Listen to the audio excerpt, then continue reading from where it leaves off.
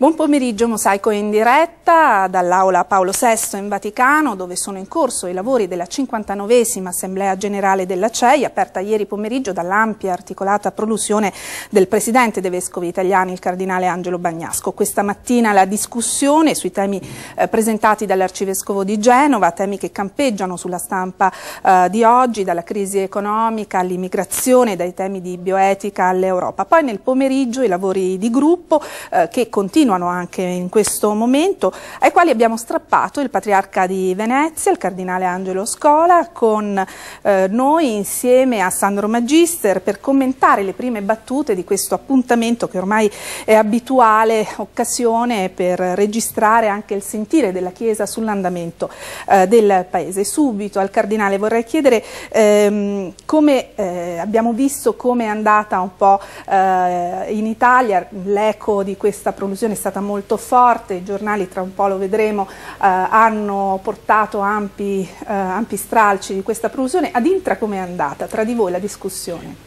Ma eh, diciamo che è andata molto bene, ci sono stati 30 interventi, è stata un po' diversa secondo la mia opinione rispetto a come i media l'hanno recepita. Perché? Perché mh, mm, si fatica sempre a capire il punto di vista da cui noi ci situiamo quando tentiamo un giudizio sulla vita concreta.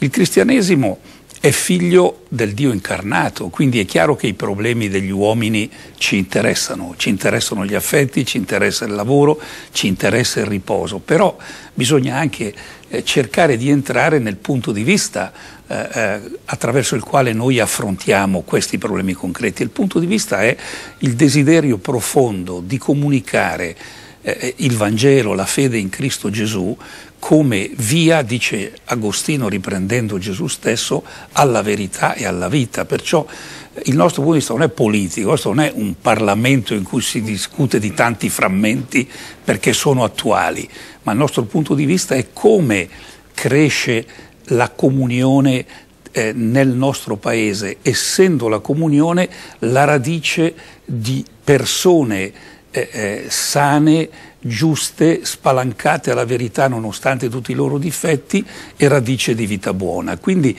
la nostra discussione posso usare un, una parola che magari non, non, non, viene subito compresa da tutti, è più pastorale, ma nel senso potente della, del, del, del, del, vocabolo, non riduttivo, cioè è, è attenta alla, alla, crescita e al cammino eh, eh, della Chiesa e con le debite distinzioni della società civile nel nostro Paese. Questo secondo me eh, eh, sposta un po' l'accento rispetto a come la stampa talora recepisce i problemi, ci appiattisce su, su una lettura puramente eh, politica, solo in qualche caso culturale delle questioni, ma la nostra preoccupazione di fondo non è quella. Ecco, la ringrazio per questa sottolineatura perché a sentire certi titoli di questa mattina, più tutele per i lavoratori, più garanzie per i precari, ammortizzatori sociali troppo modesti, equità del fisco, ecco, sembrava che fossimo a una riunione di un sindacato confederato piuttosto che invece a un'assemblea un generale dell'episcopato italiano. Ecco, che cosa è successo? Non c'erano confusioni di ruolo secondo te Sandro? Oppure è stata una lettura dettata un po' dalla sovrapposizione con la campagna elettorale, con altri? Circostanze? No, è stata una lettura secondo me abbastanza prevedibile, però in ogni caso parziale. Parziale perché eh, va incontro anche a una grossa obiezione che viene lanciata contro la Chiesa oggi, anche dentro il mondo cattolico, e alla quale il Cardinale Bagnasco ha ampiamente eh, risposto, argomentando ieri nella sua relazione. L'obiezione secondo cui eh, la Chiesa appunto dovrebbe fare più opera sociale, più carità, e un po' meno mh, mm, eh, ricorso a quelli che sono i grandi principi, il richiamo delle verità eterne, eccetera, eccetera. Queste sì, vanno van benissimo, ma lasciamole alla, alla vita privata. La Chiesa appaia in pubblico per quello che merita di apparire.